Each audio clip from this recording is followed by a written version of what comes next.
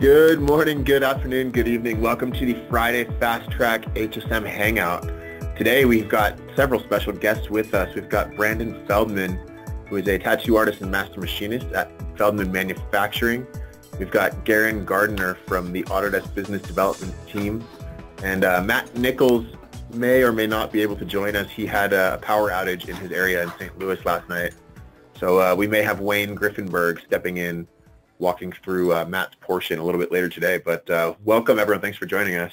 What, what we're going to be going through today is, you know, we keep talking about these fast track events that are happening across the U.S. And uh, Brandyn actually hosted one at his shop uh, about two weeks ago. So Brandyn's going to, you know, share some of his work and what went on at that fast track event and uh, the meetup that followed. And uh, after that, Garin Gardiner will be getting into uh, Fusion 360 and showing us some of the models and things that they were creating at this event. And then either Matt or Wayne at the end of Garin's um, you know, modeling portion will jump in and show us some toolpaths and posting code. So uh, that's what we'll be going through today. Uh, one quick announcement I want to make before we get started is, uh, you know, we, we keep talking about Autodesk University week after week in these uh, in these fast track hangouts. Uh, all of the classes have all been submitted. They were due, I believe, on the 16th of this month. So uh, what we're doing now is actually voting. We're, we're asking our community to vote on the classes that you'd like to see at Autodesk University. So if you uh, search Autodesk University in, uh, you know, in Google or in any search engine, you'll be pulled up to the Autodesk University page. And I think the first thing that will pop up is the courses that you would like to see. So, you know, there's, there's a range of courses from our customers that you know want to get in and do advanced toolpaths. You know, this one, this example here is on advanced post-processor customization from uh, Renee and our, our, development team. So, you know, we want your input. We want to see what the community is interested in at Autodesk University. What type of content would you like to learn more about? Um, you know, as we as we continue engaging with the community. So, um, you know, please, everyone, we, we encourage you to vote here. These these courses will be made available online after Autodesk University.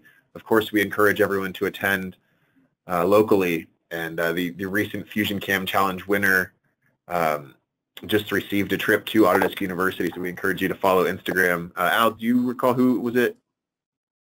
Uh, winner yeah, of that last? Bill up in Canada. Uh, they do aftermarket machine components for Harley Davidson motorcycles and a five-axis Hurco. Phil Butterworth, I believe, is his name. Yeah, so you can you can learn more about that on the Fusion 360 blog. So check that out. You know what he won and what some of the other winners um, were awarded for their contributions to that. But you know, please, we, we encourage everyone in our community. You know, come to Autodesk University, participate in what you'd like to see presented. We want to have CAM and HSM a big part of Autodesk University this year, bigger than last year. So um, to kick things off, you know, we'll just you know, with, with Autodesk University in mind, you know, how many of you have been to Autodesk University? This is really important to, you know, the future of, of our CAM group. And, you know, we want the community to be more and more engaged and be a bigger part of Autodesk University. So let's get some more votes in here. Maybe you're already on the website voting for which classes you'd like to see, but let's, let's get this vote in first. Okay, so I'm going to close this.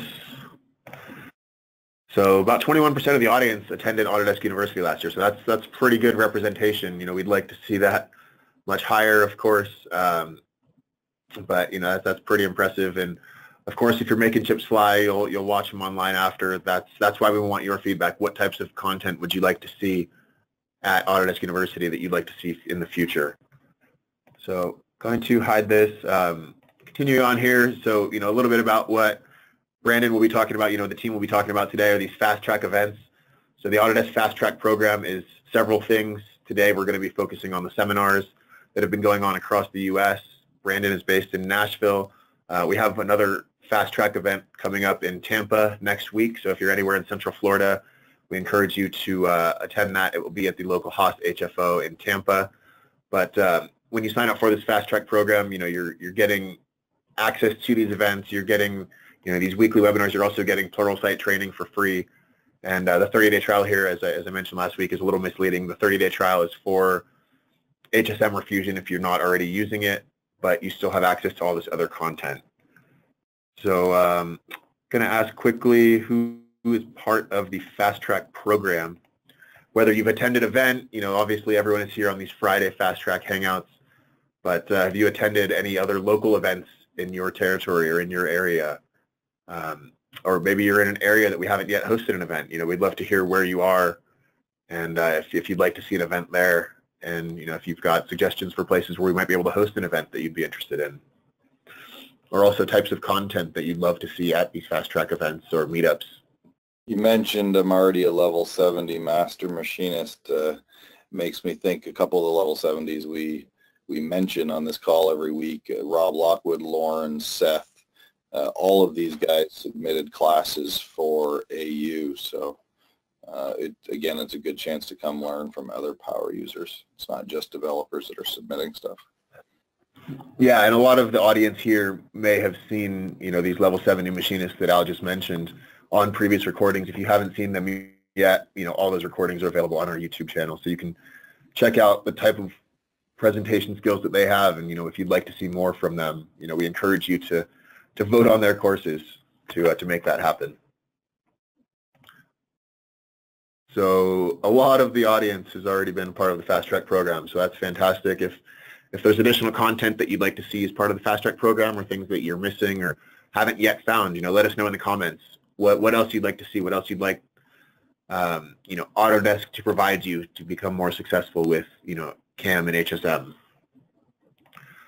So, you know, moving along, you know, we were talking a lot about Autodesk University. That's really what the Fast Track program is, is this journey to Autodesk University. So you see John Saunders here on the right. You know, we, we want to encourage our community to be very, very involved in this. And I keep reiterating that, but it's very important to, uh, to see our community present as, you know, internally at Autodesk, we're making a big commitment to CAM and to HSM. So we want to show that this is making an impact on our community and we want you to be there to really show up, you know, how strong this community is.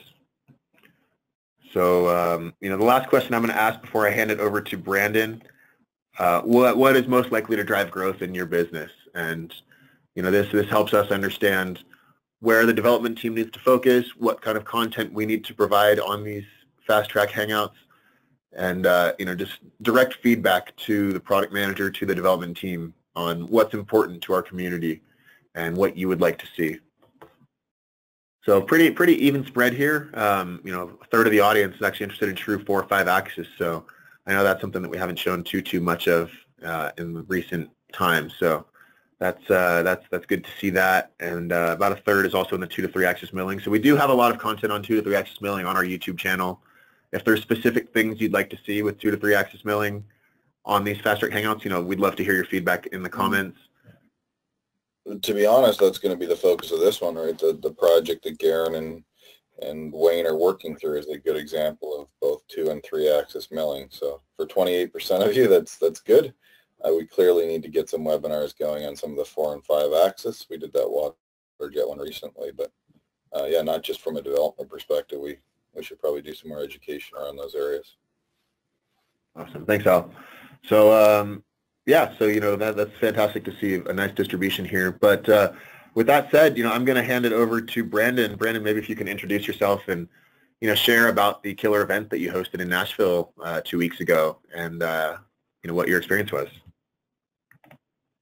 Yeah, I'm I'm here in Nashville. Um, I'll give you a little back uh, little backstory on me.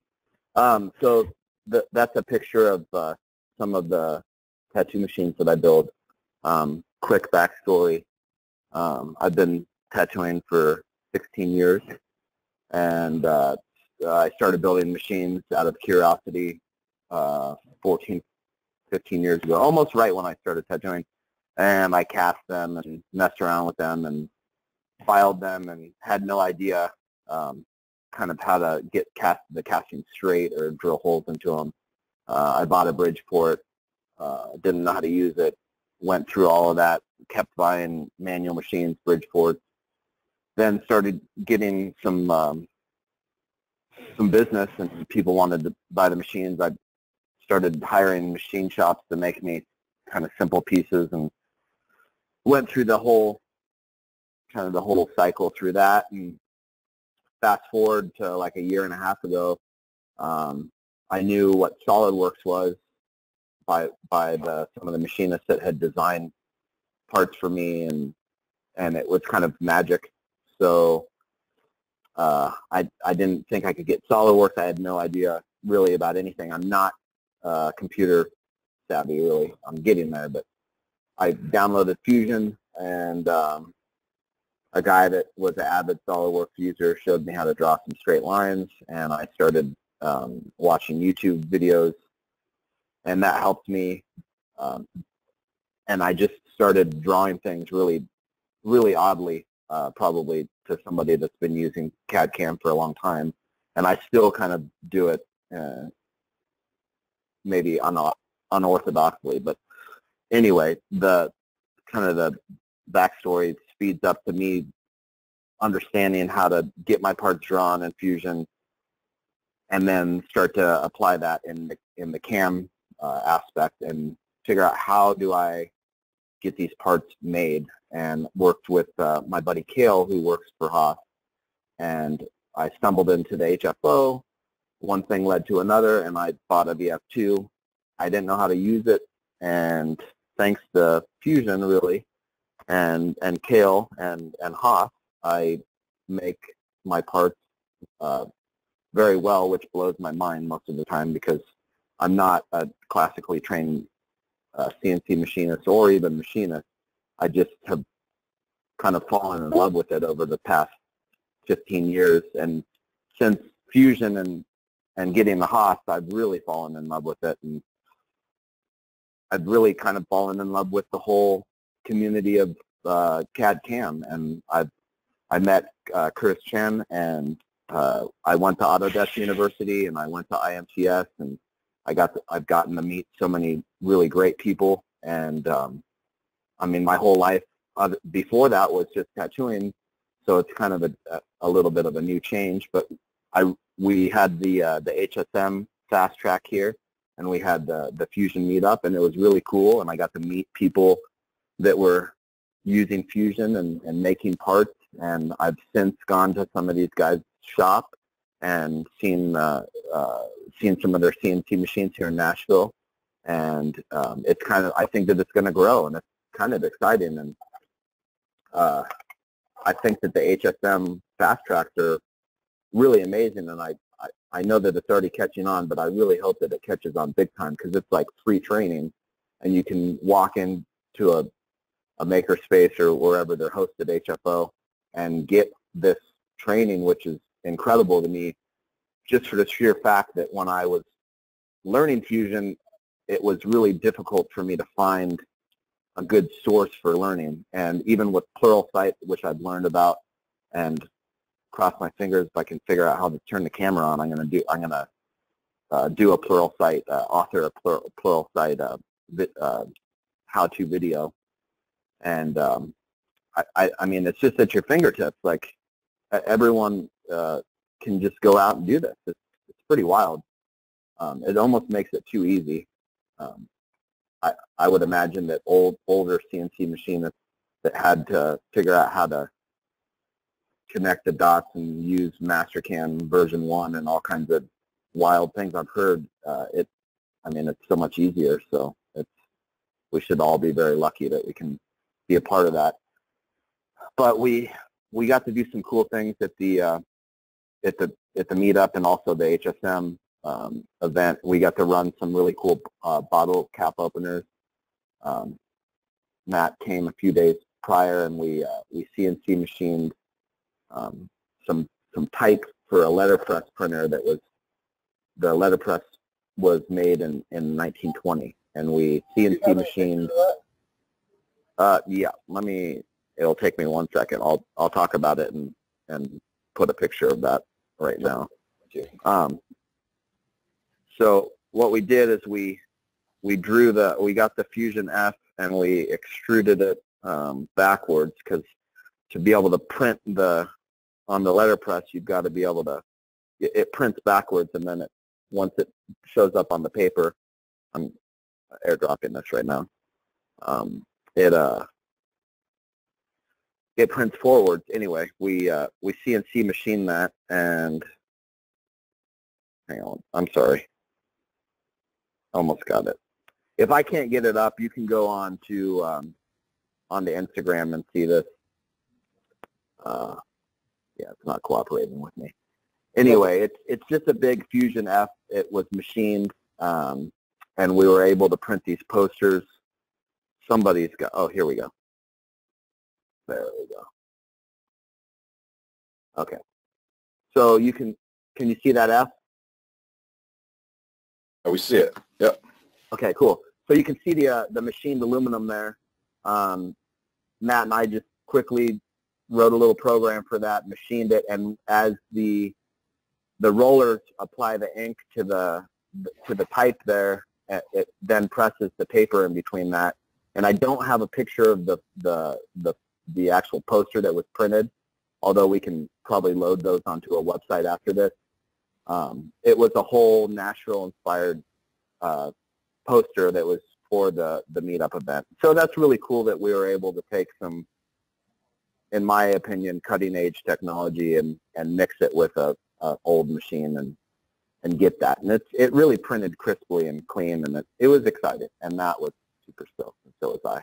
And then we also uh, we also made the the bottle cap opener, which I think is uh, one ear Tim's design, and um, I didn't want to order uh, I didn't want to order a special tool, so we dropped, uh, we on the second off, we dropped uh, a little quarter inch end mill in, and we did the undercut that was supposed to be done with a, like a little um, woodruff cutter or something like that. And um, that was cool, and all the people that came to the event enjoyed watching the machine uh, make the parts, and everyone got to meet everyone, and I, I, I think it was great. And we're going to do another one and continue, and hopefully grow this. Uh, before I get off, I, I want to say um, I recently went to the TCAT school, which is the Tennessee um, Technical School here. The Tennessee offers free machinist training all throughout Tennessee.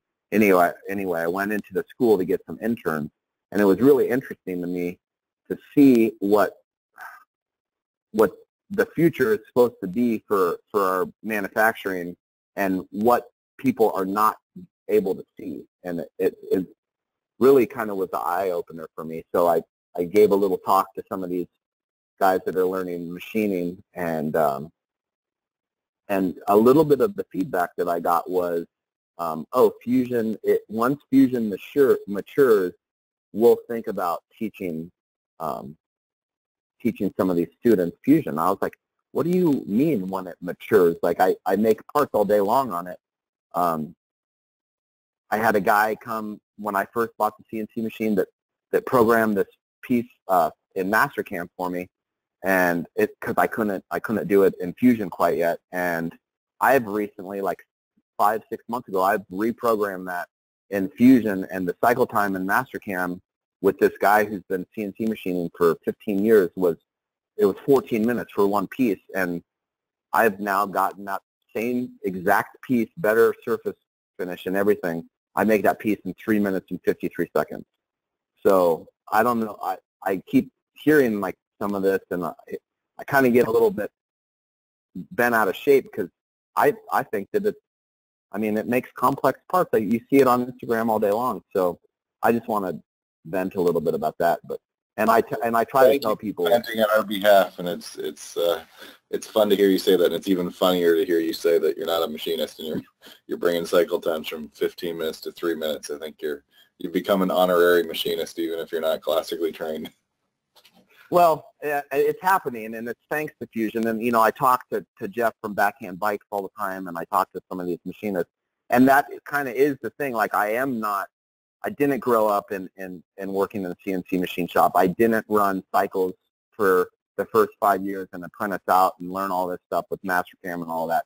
But like I said before, it's it's being made easy. I mean, everybody's got the, the ability to do this. I'm running what I would call really fast machining, aggressive, high-speed machining that upsets most old machinists when they come in here. Some people, some some machinists have come in here and gotten mad at me because I'm not running coolant on a part on a on an end mill when I'm cutting into steel that would it would explode if I ran coolant. It's so hot. I, you got to run air blast. You got to move fast with this stuff, and it's just it's. I, I just think it's funny because, I mean, all these guys. No disrespect to to where they came from, but let's let's get on the train that's moving fast now. You know, like I think it's you hit an I think it's important. Hadn't really realized earlier actually is a classically trained machinist, and, and I'm one, comes from an apprenticeship, and the value of an apprenticeship is on-the-job learning around other experts. And before the internet, before the connected world we live in, uh, that required you to be on site. But you just mentioned you talk to Jeff all the time. So it's almost like the apprenticeship of the future is this ability to leverage social media and other techniques so that you're you're apprenticing from all kinds of experts all over the world, and that's possible because of uh, the world we live in today. And it's different. Radical collaboration, right? Yeah, exactly. It's it. You don't have to be all under the same roof anymore to learn from each other, and that was the case you, uh, in machining not too long ago. I want to I want to say this real quick before I pass it off to the next person. I I, I told this story in this TCAT school to all these machinists. So I've tattooed for for 16, almost 17 years. I've traveled the world tattooing. I've met people even before the internet. We, you know, we we talked on the phone, whatever, however we met each other. But tattooing's been like a real close knit um, business for me. I've met people from from Sweden, Germany. I've been all over the place. Japanese uh, people. I've been to Japan, tattooed there. Um, I'm going to go to Israel in, in uh, a couple months. And uh, I told these machinists, these these guys have even they've even been in school for like three or four weeks. They're just so fresh, right? I told them, hey, in my profession, the one coolest thing about tattooing was I got to travel and meet all these people, and we all spoke the same language.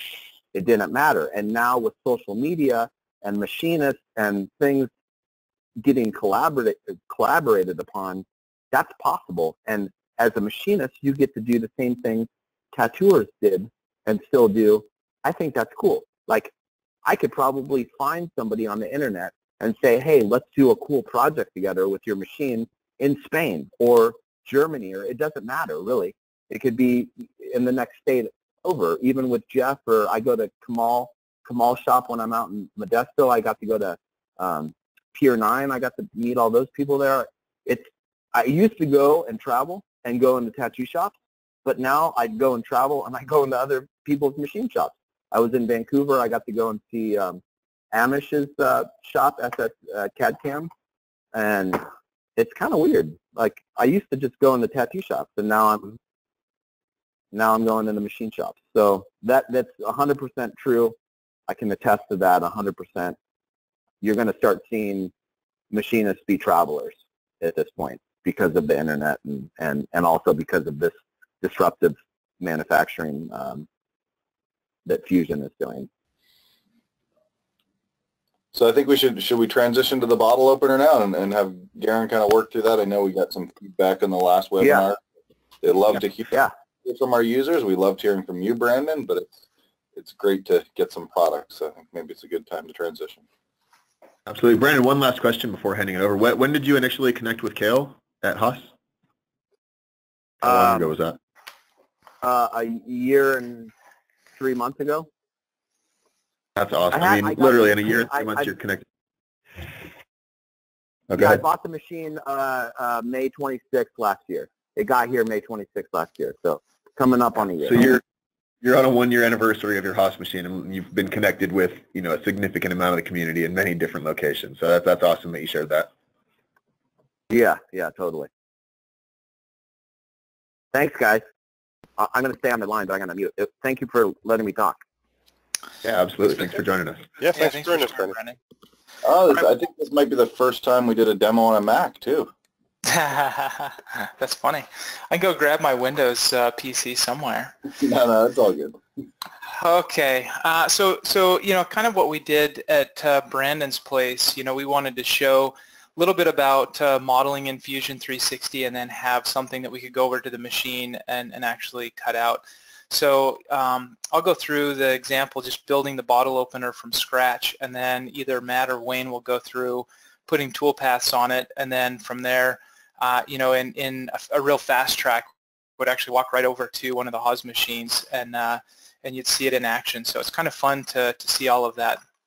But we'll start out with, I'm just going to create a, a top-down sketch for our bottle opener. And Fusion has, you know, a lot of a lot of standard sketching type of tools. One that I use quite often when doing things like this is a slot. It's kind of an automation of two circles connected together uh, with tangent lines. So instead of having to do all the construction, I can easily come in and just say I have a slot and we can put in the, the diameter of the, the slot and then we can also come in and put the, the width of this. So in the bottle opener, this is going to be where the cap goes in and, uh, and we, can, we can open it up.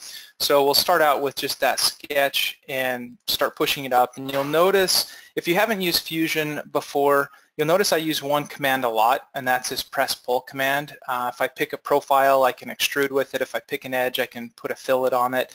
So it's kind of my go-to command for a lot of uh, lot of lot of what I do in the in the software. Um, we're just going to come up 0.7, uh, 0.475, and there's my the first part of my profile. Um, we want to offset the top and give us a little clearance for that pop bottle cap. So we'll come in something like 0.135. Um, and we can go a negative direction just by putting a negative value in there to get it on the inside. The nice thing, these are all associative, so if I were to change that value, it uh, updates the sketch as well. So that's the, the nice thing with Fusion 360. You also have a timeline across the bottom that will capture everything I do as I add the different features and sketches in here. Um, we're just going to drag that down a little bit. And also you, you, get a nice nice preview. You can see in here that I'm, I'm removing material. If I were to drag it up, you can see it up. So it's very dynamic. A lot of times when I'm sketching, I'll just do something really quick and then come back later and start locking down dimensions. So, you know, the, the preview is really great to be able to see if I'm adding or removing material. Um, if I want to do any kind of, of analysis, I can, or uh, if I want to do a cross section and see what my model looks like through that, you know, we need to put a little lip here that we can that uh, we can get around the bottle cap to pop off. So with that, we have a, a sketch here, just for sake of time got a little sketch we'll use, and I can use a revolve command in there. And then with, with the revolve command, let me just minimize this a little bit, uh, I can also come in and select the, the center of rotation. And I don't quite want it to go 360 degrees. We're looking for more something like 70 degrees. And we want that to go symmetrical. So we can see it's going both directions. Let's turn off that cross section. You can see it going both directions. And what it's doing here, it's actually going 70 degrees one direction and 70 degrees the other direction because I did symmetrical. So one of the nice things that I use quite a lot is just equations in uh, when I'm when I'm modeling. So I can actually come in here and do divided by two, and you can do all sorts of algebraic equations in here. So if you want to add, you know, do do all sorts of equations and use parameters for that, you can do it. And anytime you come back, let's just edit that when you come back, there's still equations. It's not just converting it to 35 degrees each way. Um, so this is a really great way if you have certain things that you want to lock in and let the, let the system do the math for you, you can do that. Uh, but once we have that, we'll add a couple of fillets, smooth this out a little bit. So as I mentioned, I'll use the press pull command, same command I used to, uh, to extrude that original profile we can just tug that out a little bit. You can see the, the dynamic nature of, of the fillet and then we can come in and, you know, usually I'll kind of eyeball it, get it close to what I want and then put in a, uh, a regular dimension. I'm going to call this out because you made a mistake. Uh-oh. Uh, no, it's a good one. Um, he put a, a 0.125, a 1 8 radius, and this is just a little trick for you designers out there. Um, it, it's always a good idea to make your radius 10% bigger than the cutter diameter so you don't the cutter doesn't have to stop in the middle. So, uh, you know, there we go. Um, so now we're making a little bit, the radius a little bit bigger. And, and now the uh, one-eighth cutter can roll through that, or sorry, a quarter-inch cutter can roll through it instead of stopping in the corners. Little design for manufacturing trick Thanks, Al. Yeah, and, and I don't know if you caught that, but any of these features I can easy, easy enough, just come back, double click, or uh, you can right click and hit edit you know, there's various things in here that you can do, rename, edit, delete, but um, that's a great way to come back to any of the features. Um, in fact, with the, the, tree, I can roll this all the way back and I can see step by step what I've done in the model. So I can click through and see each thing along the way. And this is a great way for learning too. If you if you if somebody gives you a model, one of the first things I do is just play through it and see how they created it. Um, I've, I've learned how to use software a lot with uh, being able to just watch, go through the history and see how they made their assemblies, you know, how, may, how I might go, go about doing it a little bit differently. Uh, it's a great way to just interrogate a design or even remember how you made it if it's something you did a while ago.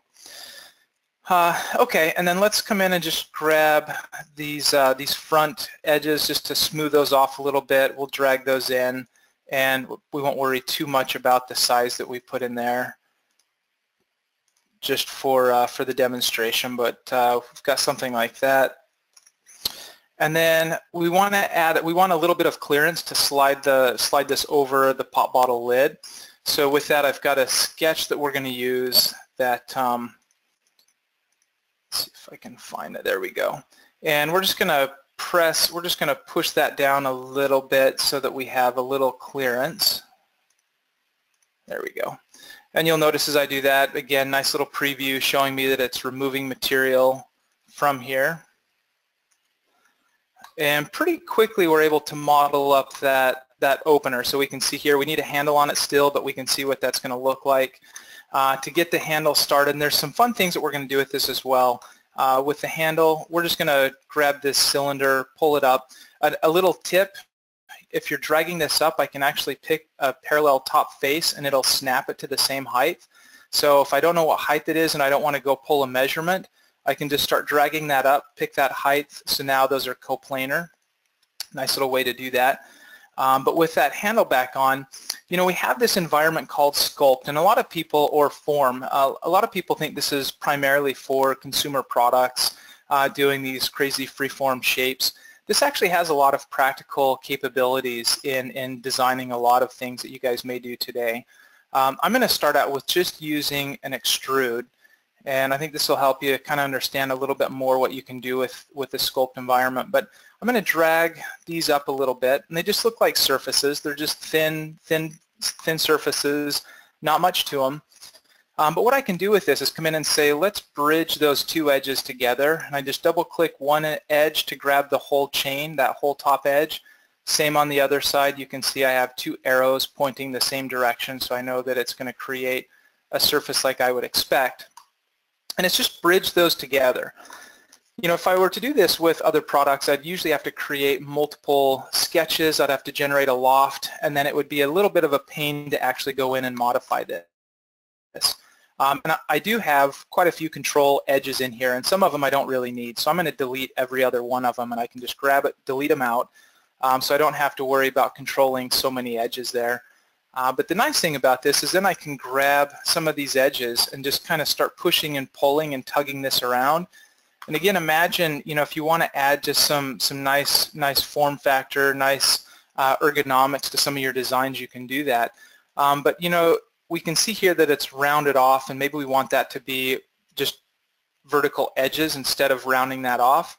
So I can come and grab each of those and say, let's just crease those and give me nice sharp edges. So you can control if it's going to be a nice hard crease or if it's going to be a nice smooth surface. And then, you know, we may want to grab these and scale those in a little bit more. So just to, to give me a little indentation there. So really within just a couple of minutes, I have a nice little handle there. And that's, again, something that if I were to do that with lofting, I'd, I'd have to generate multiple planes, multiple sketches, loft those together it would be a little bit uh, a little bit of a pain to do that. Um, and then notice there's still surfaces, so we've got a, a, nice little command in here that allows me to grab each of these, the surfaces and those two solid bodies, and say let's just make a new part out of all of that. So we'll just say make a, a new component and we can also tell it what parts we want to keep and, and turn into a, a full solid unit. And there we go. We have a, a nice solid component. If I do a, a cross-section analysis, let's turn off all the other things in there. So we have one solid body with that nice surface. The great thing about it is at any time I can come back and make changes. So if we came back in here and wanted to tweak that a little bit, you know, I could grab this edge and maybe pull it down a little bit. It's very flexible to be able to, to do that. So you're, you, it's not a one-stop, use it once and that's all you can do. You can see here that it just updated that, uh, that, that solid now. Um, but in here, we may want to add a couple of fillets around. So we may want to put just a small round on here. We'll do something like 0.125 and um, much the same. We'll, we'll do another one up around the, the top edge and this side and we'll do something like 0.25, a little bit larger. So pretty quickly we've gone through that. A uh, couple couple things left and I'll hand it over to, to Matt. Or uh, has Matt joined us by chance? Power Doesn't look like Matt here yet. Yeah. All right. All right. So one thing that uh, while while I'm wrapping up, uh, I'm going to come in and say let's let's do a live sharing session. You know, we talk a bit about uh, rich collaboration with Fusion 360, and that's the data is in the cloud. This allows us to share a design with other folks. But what if I want to? What if I'm working in a design review environment? I want to share this with other folks. Um, what I'm going to do, let's uh, not do that. Fire this up again.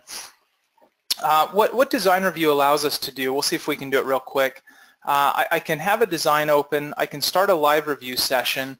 You, you can get a link where you can pick on, so all of you guys could get that link and I'll post it in our, uh, I'll post it in, in our GoToMeeting and you guys could see exactly what I was doing just through a browser. So if I put a fillet on something, change the size of it, you guys could see it, you could spin it around. So it's not just seeing a static image, it's actually being able to interrogate the design, have conversations about, you know, maybe we need a bigger fillet here or, you know, maybe we need to, to make that pocket a little bit larger based on the, the tools we have. And uh, it's a really great way to be able to collaborate. So we'll see if we can get that come, to come up real quick. And that, that live review, I believe, still is a preview function. So if you're not seeing it in your instance of Fusion, it's a preview that you need to turn on. And while, while this is coming up, we also have uh, the, the data is in the cloud. So we're working on, Matt and Wayne and I are all working on the same project. So the design that I just kicked off, uh, I saved a version of it. Wayne, uh, Wayne will be able to see that and uh, start start adding toolpaths on it right away. So it's a very dynamic way that we can work off of this. Uh, you know, we can capture the versions and, and all of that. So maybe while I'm pulling this up, uh, I was pretty much done with it. Wayne, do you want to do you want to start adding the toolpaths on it, and we can come back and do live review yeah, in a few minutes? At the end of the webinar, so why don't we why don't we switch over to Wayne? Sounds good. So you should see on my screen, I have, uh, I'm working inside of A360 here, uh, our Fusion team view. And uh, a part that, uh, that Garin was working on, this is a representation, like as I was following through, I could see some of the updates that he was working on. I think this is a representation of that part he was working on. I was going to finish it up here. Um, but I'm going to walk through uh, what Matt did uh, when he worked with Garin and Brandyn when they were at the show there, setting up the toolpaths to be able to send them over to the VF2. So I'm able to see it in this in my browser as well. I can go and take a look at it. I can put some uh, measurements and I can find out what the distance is from here to here. So I can see live as we're working on uh, the part and get information back. And I can also send comments back or add some comments and markups so that Garin and Matt can see what's going on. You know, and you know, anybody can. I'm not trying to make this a sales pitch, but anybody can add markups. Maybe, uh, maybe just for fun, create a share link and paste that in the chat, and and then some other people can see just the stuff in the right hand corner yeah. We can see how you could how you could share that out with people that don't have fusion. So we can say copy uh, we'll paste that in the chat and for anybody that wants to take a look um, uh, Curtis actually said he's got a swag pack so why don't you why don't you throw it in the chat and we'll randomly pick one of the users uh, within the next hour so maybe after the webinar wraps up that makes a comment we'll we'll throw you in a drawing and get you a swag pack Oh, there we go. So I just added a link uh, to the chat window in our in our GoToWebinar, so you guys can link and see this part and work with it and add some comments. So I'm going to open it up. So I'm going to go right up into Edit, right up here. I'm going to edit the design, not in my browser, but I'm going to edit on the desktop. And it'll give me a chance now. It'll pop up. Now, if I didn't have Fusion installed, it's a small download. In the background, it will do that. Um, I don't have to because it just opened up that part right inside of my Fusion that I can work on here. So I'm going to try to do some justice as to what Matt worked on when he was there with Garin and Brandyn. Uh, so I'm going to walk through some of those toolpaths the way he set it up uh, to run on the VF2. So I'm going to switch from the model view, and as you can see, the, the browser history or the history, the timeline on the bottom, the browser of the construction, and a lot of those same sketches that Garin was working on. I'm going to go into the CAM view, and uh, actually, looks like they already had some toolpaths up, so I'm going to delete that out. So this isn't the exact one that uh, was working on, but this is what he was building up to. So this is what we would do is as I'm watching live, he would hand it over to me and I'd be able to add some toolpaths and send it back to him. So the first thing I want to do is I want to try to rough this out as much as I can, representing what was in uh, the stock that's in the part or in the machine. So I'm going to first do my setup, working from left to right, go into setup, and I'm going to leave that at the center there. I'm going to leave my, my uh, G54 right there.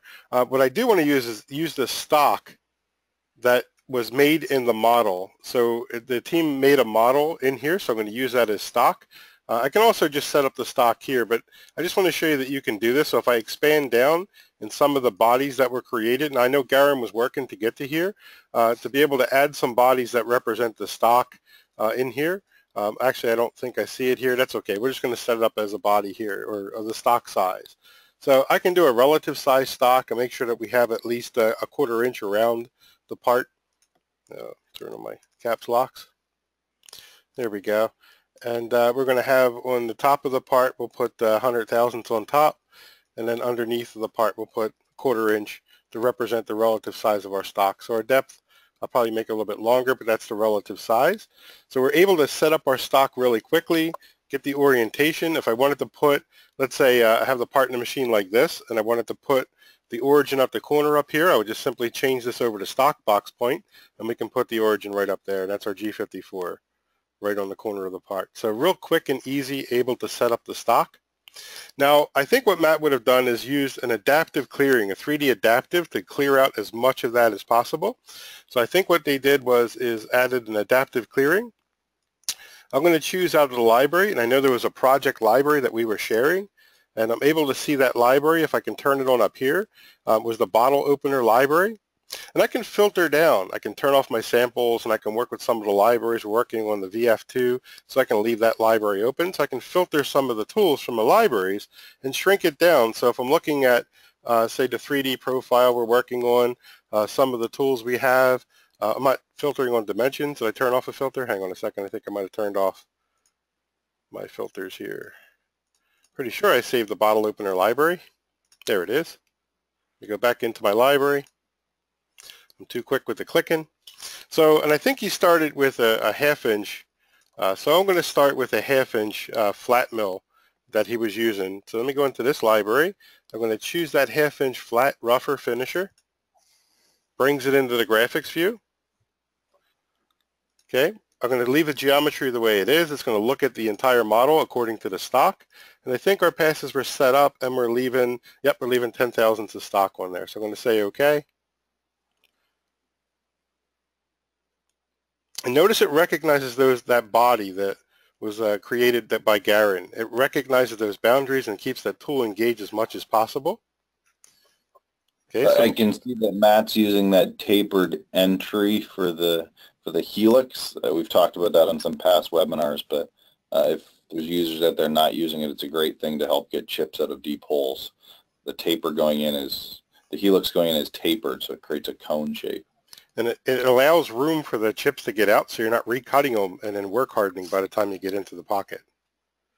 So we can take a look at that while I have it highlighted. I'm going to go up here and simulate. You can start the simulation. I can also turn on, let me bring this over real quick. It's hidden behind my window here, guys. There we go. I can also turn on a representation of the stock. So we can see what it's going to look like as it's cutting through the stock there. And we can also grab a hold of this and speed it up a little bit. We can also hide those toolpaths by turning it to tail so we can see where the toolpath has been. And it's starting to rough out that basic shape of the bottle opener there.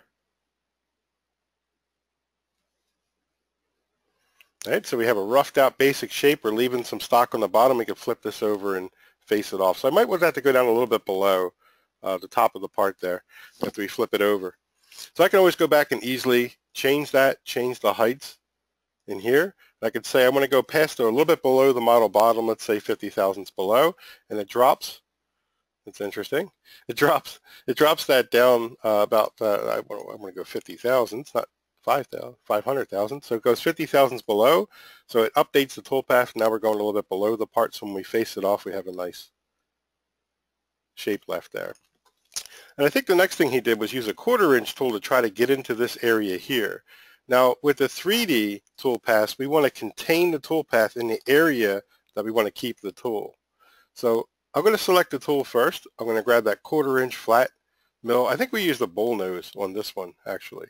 So I'm going to filter down on bull nose tools. Okay, and down here I think I have in the bottle opener library that quarter inch bull nose tool that Matt was using.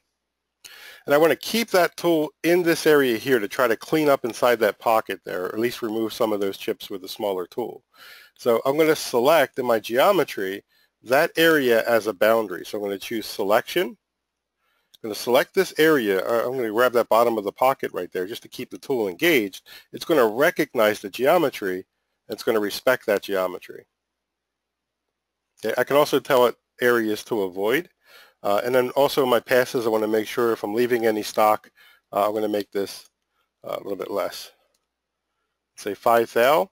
And another thing too is I want to make sure that in my rest machining, it's looking at the previous operation so it knows what was left so I'm not trying to hog out all that stock that it believes is there. I'm going to say OK. And we get the adaptive clearing respecting the model and cleaning out that pocket with a smaller tool. And I think we want to do the same thing in the back here. So I'm going to copy that same adaptive down. I'm going to go down to copy. Go on my setup. I'm going to paste that same adaptive. So I made a duplicate of the same adaptive clearing toolpath. But this time I'm going to change the geometry. Instead of doing that pocket, I'm going to exit that out. I'm going to choose this pocket, this area here. I can also make it go down a little bit below. By using the heights, I can say model bottom. And again, I'll drop that down 20 thousandths below the model. We can also go 50 so that we're all the way through. So I'm going to leave, yeah, let's go 50. Okay, and if I look at my rest machining, it's also looking at the previous operation, so it knows that we're able to cut where it left stock from that other operation. And now we have the same adaptive clearing, getting into that pocket, pocket back there. It's taking a little bit of a while there. Uh, you know what I didn't do? No, I think we're okay. It's stepping down into that pocket there. Wow, it's stepping really far down. Let me see what I did on my depth there. 50 inches. There we go.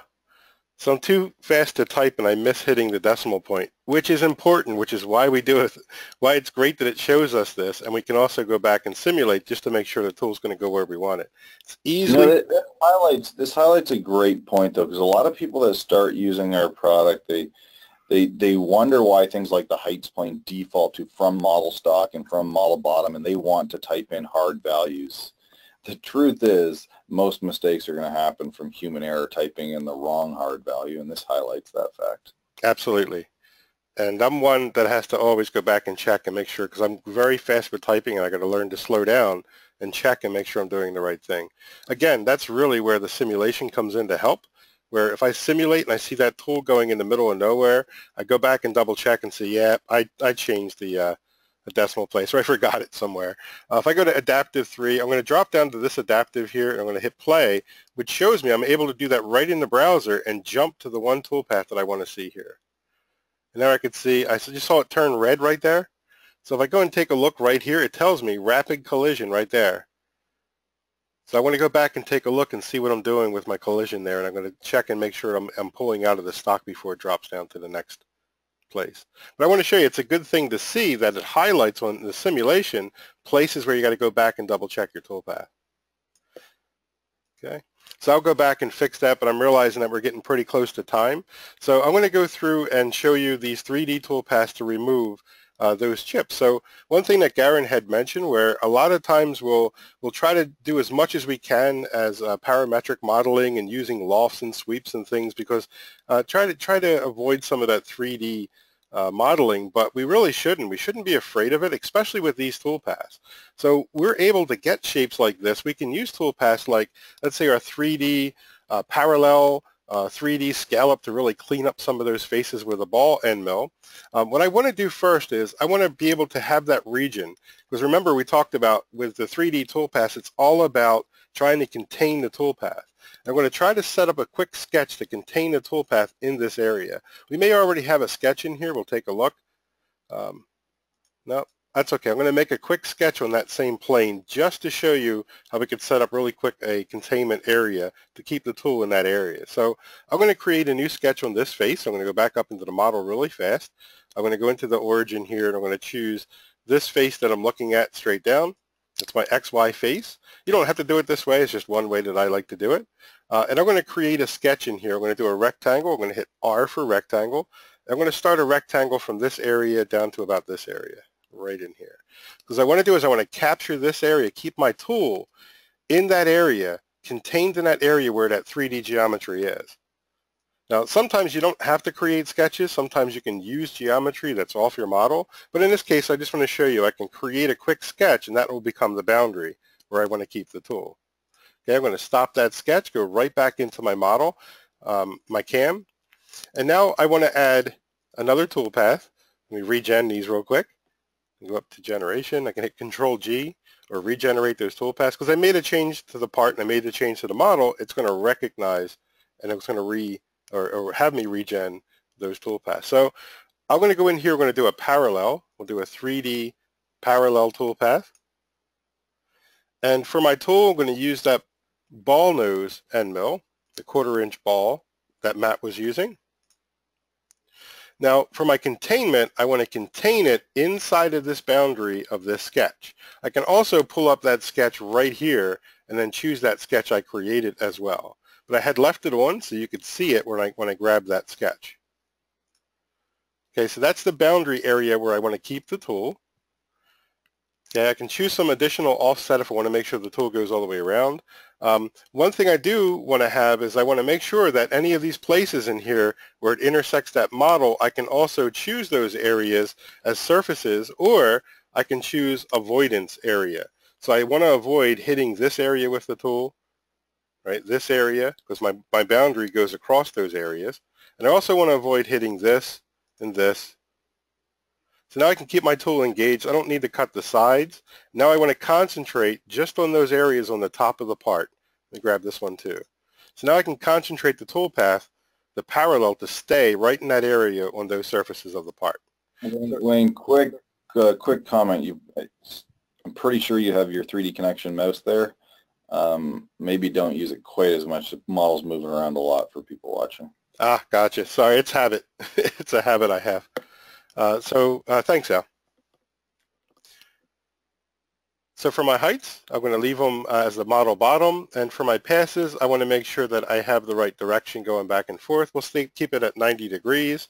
Uh, we'll go 100 thousandths for my step over. Probably want to go a little bit more tight. Um, yeah, now I actually use the decimal point. So we'll go 10,000 step over so you can see the toolpath. Uh, you can get much, much more fine than that. Okay, so I'm going to leave it like this, okay, and see what kind of toolpath we get on those surfaces.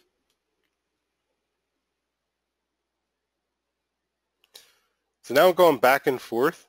I'll try not to move around too much, but now we're going back and forth into the model. And I'd like to try to stay along those surfaces so that my tool comes down and runs along those faces. So I'm going to edit that parallel. I'm going to change the direction of the parallel to be zero degrees. So I'm running along that same axis. Okay, so quickly I'm able to go back because it's always the same workflow for all the toolpaths. It's easy for me to find where those switches are and where I can add those parameters and change them in the toolpath to be able to get what I'm looking for. So I think that'll work out nicely. We could take a quick look in simulation. Again, I can highlight setup 2 to see all the toolpaths. Go and simulate them. I can also, again, jump down to that parallel so I can watch and see what that parallel is going to do.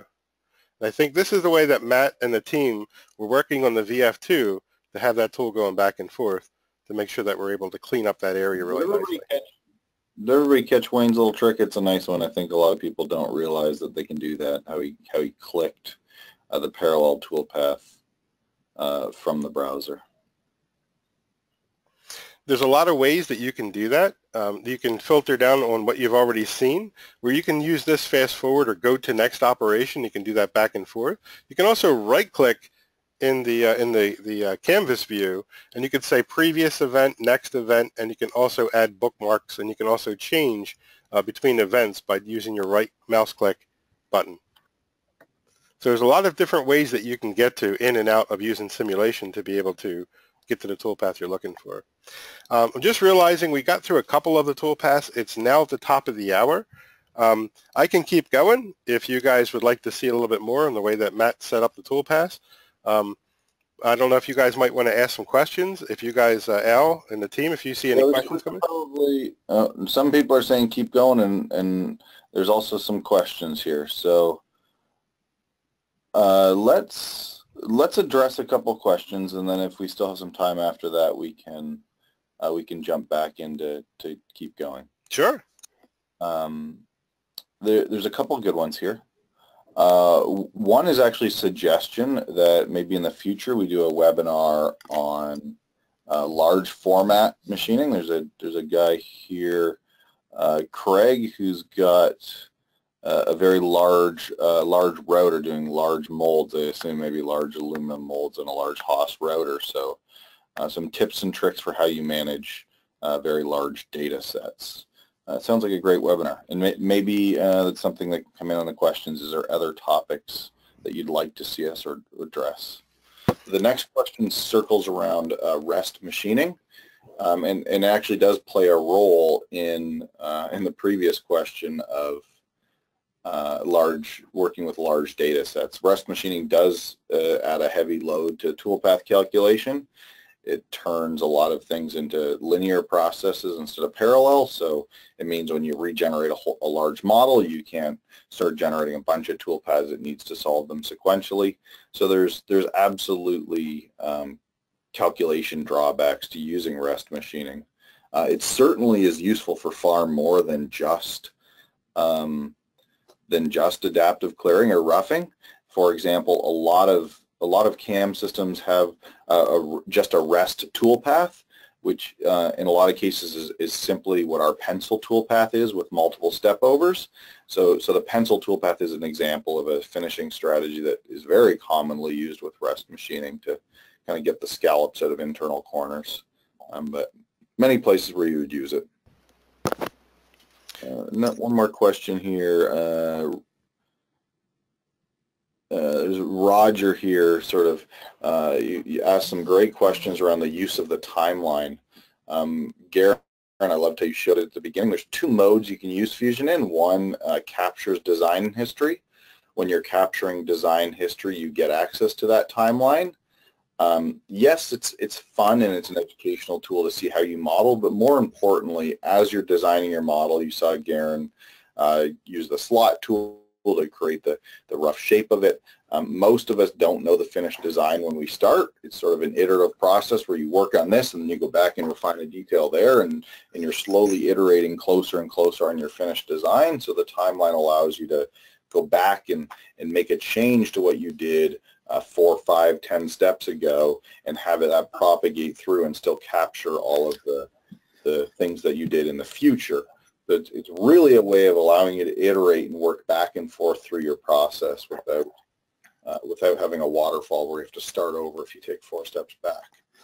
Yeah, and Al, to, to add to that a tiny bit, you know, it's nice to roll back and make a change, but also you can roll back and add new features. So, you know, imagine if you had a box and then you shelled it out and realized that you wanted to fill it the four corners before you shell it you instead of having to delete the shell, put fillets, and then reshell it, you basically just roll back before the shell, add your fillets, roll forward, and everything is, is as, as you would want. So you can actually tweak that history over time and, and even drag and drop things around to, to change history. So it's pretty powerful. Is there a downside to um, uh, not capturing design history. Garin, you, you know this a little bit more than me. I know there's some direct editing capabilities that are only in a non a non uh, history mode. is there anything beyond the direct editing capabilities, Garin?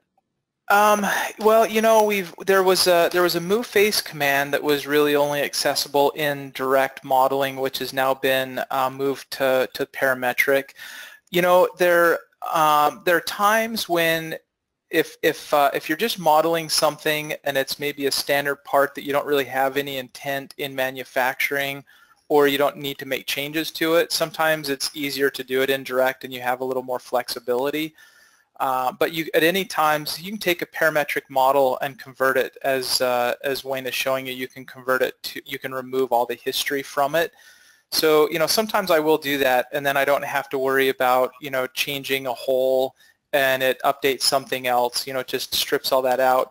But, you know, the upside of it is, you know, let, let's say I, I have a plate, I put a hole through it, and then I grab um, a face on the plate and pull it back where that hole would be gone in the direct world, that hole will never come back. In a parametric world, that hole is still there if you just move the face back in its original location. I, I don't, you know, without visuals, that may be a little hard to understand. But, you know, once you delete something in direct, it's gone. In a parametric history environment, that's still, there's still history behind it. It's still there. You can bring it back. Um, so, you know, there is some safety nets in working in a parametric environment as well. So they, they both have advantages and, and disadvantages, but 90% of the time. In a lot of ways, the mental model thing, sort of knowing that you have the power of parametrics and leveraging it is a way to think while you're designing, and I personally sort of think that way, but there's definitely times where you just want to feel like it's a, a block of clay, if you will, and you can you can stick some on and pull some off, and you're not really worrying, like Garin said, about is there downstream effects of this change. It's just they're just changes, and that's all it is. Yeah. Well, I think uh, we we dragged it. We dragged this one a little long. We had some great questions, though. Um, I'm glad you guys walked through that. Uh, before everybody leaves, I'm curious. Uh, again, did you like us covering a little bit of design in this one? Do you want to see more of that? Is there suggestions beyond this large format machining uh, question? I, I, really like that. It's actually a strength of us is path calculation time, and we haven't really done a good job highlighting it, so we should. But uh, in the questions there, you can throw some comments uh, before we wrap things up, and, and otherwise, thank you for staying later. It's it seemed like they did definitely like it. it. It seemed like there was some good feedback the last time. I think you did maybe the last one, Wayne. I remember when you did some four-axis programming, um, and it looks like people are appreciating showing the design to manufacturing workflow, not just starting as if the design was done. So thanks for joining us, Garin. It sounds like we'll have you back presenting a couple more times. Sounds good. Thank you. Yep. Thanks for joining us, Brandyn and uh, and Garin. We really appreciate it, and it was good to walk through. And, and we, we like to show off the collaboration and and talk about like a, uh, the good results of the fast tracks we have, getting to know people, getting to meet people in our community, uh, and uh, hearing stories uh, especially background information from uh, the history and, and talking with Brandyn and to get to know some of those great collaboration and stories that we have out there. So thanks, guys.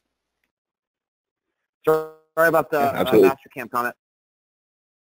no, don't be sorry. It was it was a good thing for us. I just want to make sure that everybody knows that, that as a company and as a person, I've got a lot of respect for for where they've they've taken us. It's not like it's a terrible product. So. Oh yeah, I, and and and I believe that. Uh, trust me, not coming from a uh, machinist stand, uh, standpoint, but I mean, I've been tattooing for a long time. Tattooing is changing just like machining is.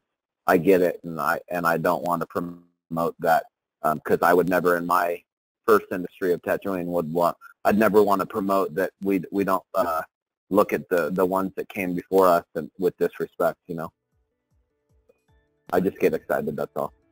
No, it, it's good, and I loved having you here, and, and, it really does show this story that um, machining is more accessible.